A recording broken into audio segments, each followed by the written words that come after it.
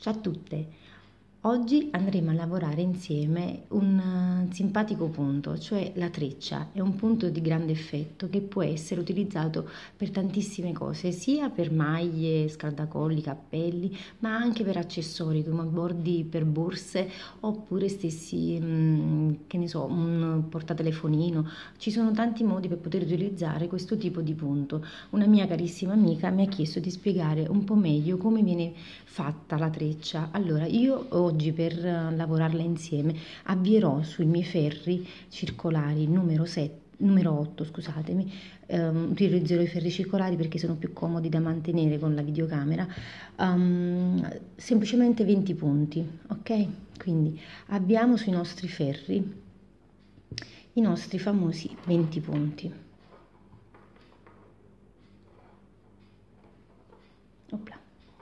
1 2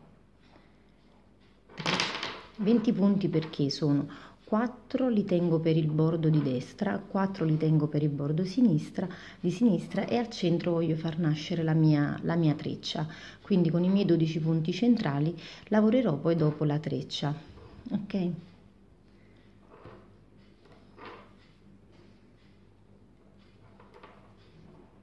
Sono 2, 4, 6, 8, 9, 10 allora continuate così fino al raggiungimento dei 20 punti sul nostro ferro. Allora eccoci qua caricati i 20 punti giro la mia lavorazione e inizio a lavorare. Punta dritto.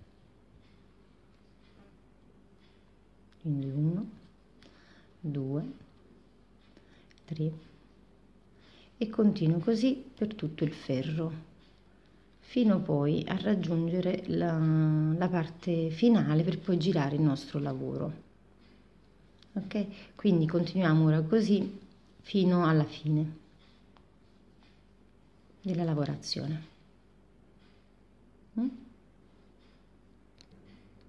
eccomi qua allora, ho girato il lavoro, ora sono sul rovescio, cosa farò? Lavorerò i primi quattro punti sempre a dritto, così creando il mio uh, motivo a legaccio. Questo mi permetterà di non avere il bordino che si arriccia, perché se lo lavoriamo con la maglia rasata, almeno il primo punto dovrà essere lavorato in modo diverso, in modo che non si arriccia la lavorazione. Ok? Poi gli altri 12 li lavoro al rovescio perché sono sul rovescio del lavoro quindi 1 2 3 4 5 6 7 8 9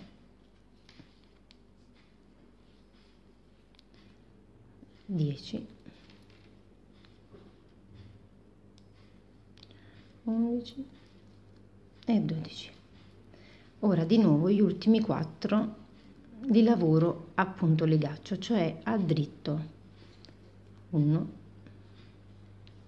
2 3 e 4 giro il lavoro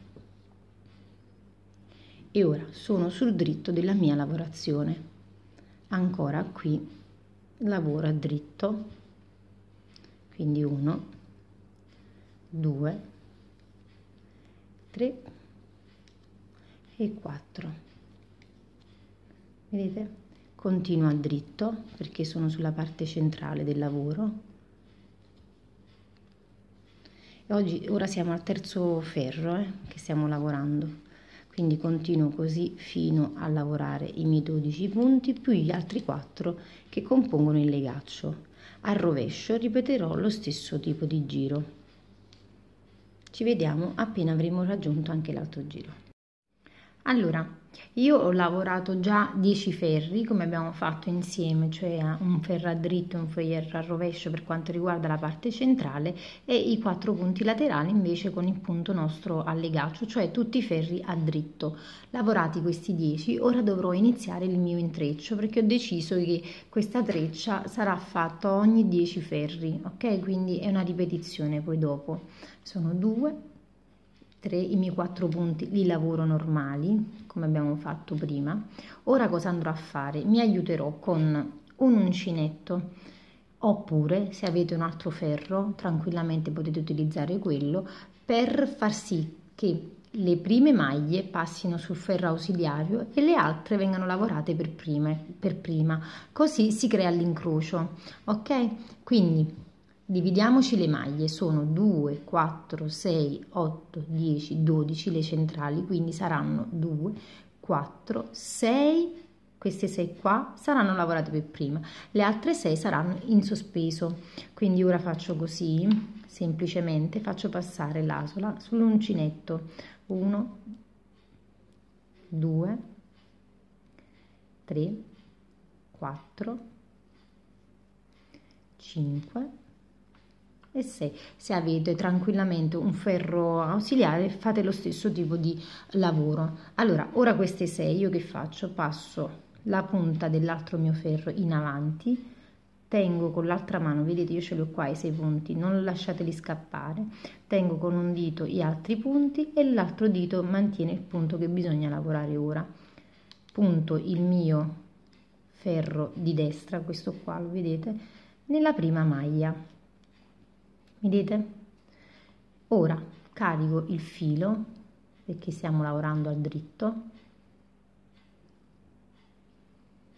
1 e così ora io andrò a lavorare i miei primi sei punti. Quindi ho invertito in pratica.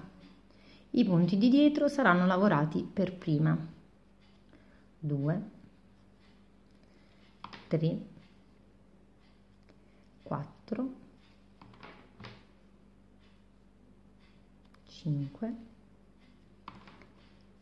e 6 ora lavorati questi 6 cosa dovrò fare? Dovrò semplicemente ora lavorare i 6 che ho lasciato in sospeso sul mio uncinetto questi qua ok? Quindi ora prendo il primo punto avvicino un po' la lavorazione primo punto e lavoro. Maglia a dritto vedete? E lo faccio cadere poi secondo punto. Terzo punto. Quarto punto. E continuo così. Per tutti i semi punti che passano poi man mano ognuno sull'uncinetto sul ferro della, di destra. Ok tolgo il mio ferro ausiliario in uncinetto e riprendo la mia lavorazione da dove mi ero fermata, cioè dai miei quattro punti legaccio. Quindi 1, 2, 3 e 4. Ora, la lavorazione al momento si presenta così, vedete già ha fatto un piccolo incrocio? Ora io giro la lavorazione, ho il rovescio del lavoro e lavoro come prima. Ripartiamo di nuovo con la nostra sequenza. Quindi dritto perché i primi quattro rispecchiano i miei punti a legaccio, quindi 2, 3 e 4. Ora i miei 12 saranno rovescio, come abbiamo fatto prima. Mm? 1 2 e poi gli ultimi 4 saranno di nuovo um, a legaccio dopodiché giro il ferro conto di nuovo altri 10 ferri a dritto e riproduco di nuovo il mio incrocio. Così avrò l'effetto treccia ok? Quindi lavoriamo ora insieme quest'ultimo giro e poi tranquillamente possiamo proseguire per altri 10 giri. E eh, vi farò vedere di nuovo come faccio l'incrocio così da fissare meglio e bene il momento. Mm? 2 4 devono essere lavorati appunto legaccio ok? Quindi 1 2 3 e 4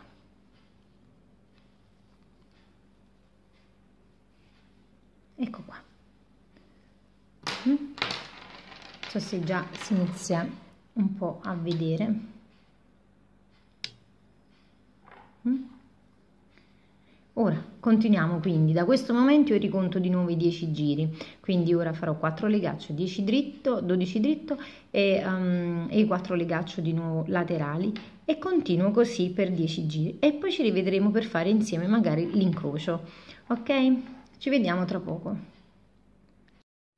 Allora, ho appena ottimato gli altri 10 ferri, cioè sono sul decimo ferro e ora inizierò il mio incrocio di nuovo, quindi i 4 abbiamo detto li lavoriamo a punto legaccio. Mm? Poi mi aiuto, come abbiamo detto prima, con il mio uncinettino e passo qui i miei 6 punti come abbiamo fatto prima. 1 2 3 4 5 e 6 ok? Vado avanti. Opla. Blocco col dito di dietro la lavorazione per non far scappare il punto e vado a lavorare il mio primo punto lasciato sul ferro di sinistra. Ok lavoro i miei sei punti a dritto perché l'incrocio lo facciamo sul dritto del lavoro. 5 e questo dovrebbe essere l'ultimo 6 ok.